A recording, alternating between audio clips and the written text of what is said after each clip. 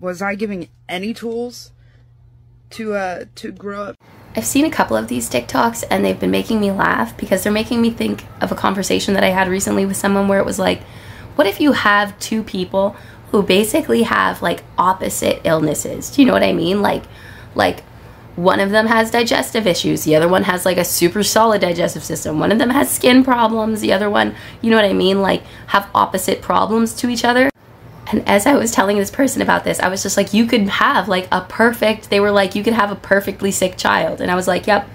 And that, that right there is the difference between cheerful nihilism and just nihilism. But it makes me laugh because I really feel like the former is what happened with me with my parents because my dad was a very like a very stoic man. He was not a particularly emotional guy. He was not a particularly expressive guy unless he was like joking and like telling a story of his that he thought was funny. He, was very much like a, a builder, a maker. He, he liked to understand things and how they work and get to things on like a more like deep level. And he was incredibly principled. People might say it was stubborn, but he had his principles, he had his beliefs, and they were immovable. And that was something that I remember about him. And I remember like earlier in life, my dad like encouraging a lot of my more autistic traits. Like we'd go to the train museum, we'd walk on the train tracks. He'd tell me, it's, you know what I mean? I know where it came from. And then my mom is fucking crazy and in the best way fucking possible. Like, yeah, it did. It made things incredibly tumultuous throughout life, but at the same time, my mom is, you know, female Patch Adams, Black Mary Poppins. There is no situation that you can find yourself in with that woman where she will not be able to find a way to make it funny. That woman is so fucking skilled at, at optics and at, at, you know, shifting perspectives that you give her two, three people and she'll make a community that people are envious of, that people are jealous of.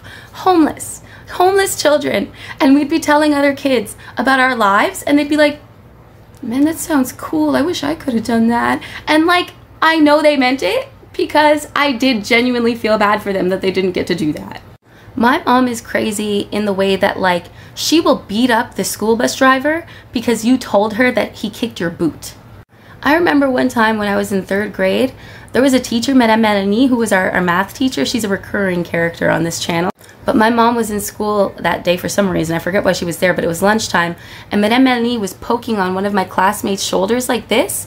And my mom flew off the fucking handle she grabs this woman by the arm and is like, no, okay, you're no, because you're gonna come with no, and because you're gonna come with me, and we're gonna go to the principal's office because I need there to be a witness because don't let me do something and not have there be a fucking witness, okay? Because we're gonna we're gonna know, okay? We're gonna talk. Like my mom's that kind of crazy. Her her empathy is feral the, the amount of shit that that woman's been through to have the amount of kindness that she does in her heart still, it comes with the cost of an absolute inability to tolerate any kind of bullying. She sees that situation and she goes, no, because you're an adult. You are an adult, and no.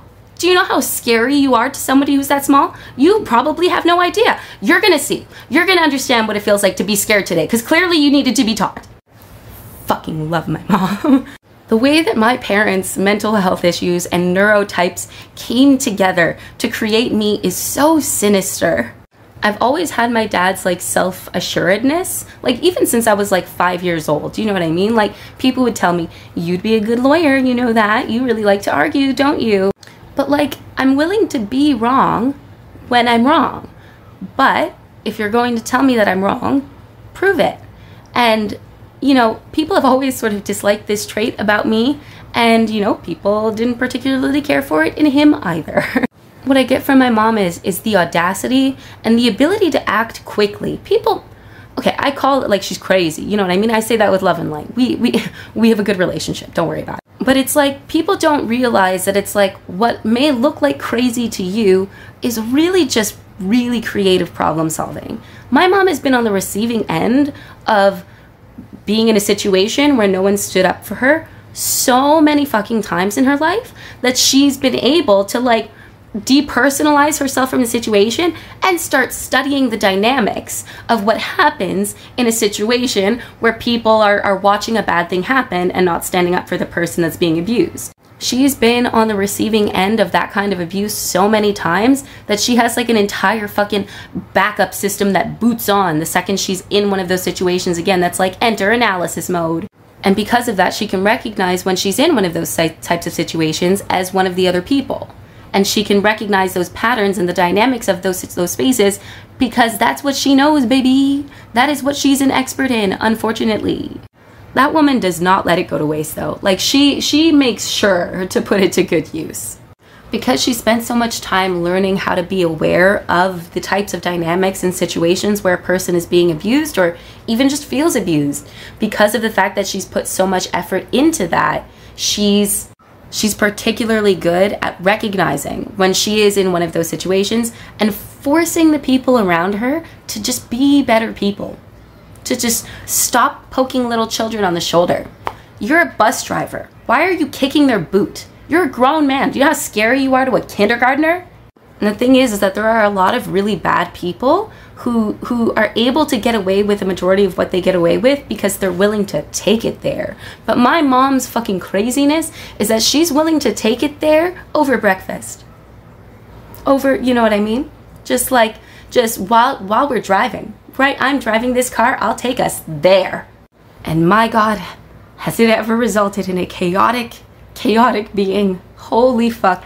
The the white half of me is French. There is just, there is a constant trash pile fire on fire inside of me ceaselessly. And, and my mom's chaotic side is the one who fucking just threw the Molotov. It's every time. And so like I think of the original TikTok and it's like, was I given all of like the tools? You know what I mean? Like did our parents give us the tools and stuff? And it's like, okay, did I get the conventional tools to succeed, to be set up in life? No, of course not. But, but, I did get all of the specialty tools. Like I got, okay, fine. Maybe everybody else got a full toolbox of like wrenches, hammers, duct tape, WD-40, a saw, you know what I mean? All of their basic stuff. And I'm sitting here with like, uh, you know, a VGA to HDMI splitter, you know, a block of iron, and like a, a cube that holds 40,000 volts of electricity in it constantly. Like, man, fuck. No, they're not the tools that are gonna help me have a regular office job and hang around by the water cooler. You know what I mean? They're not they're not the tools that are gonna make me good at that. But there are going to be situations in which you are really fucking glad that you had me around. Do you know what I mean? And so good on them. Good on my parents, I guess, was the whole fucking point of this TikTok, I guess. Jeez, guys, I'm sorry.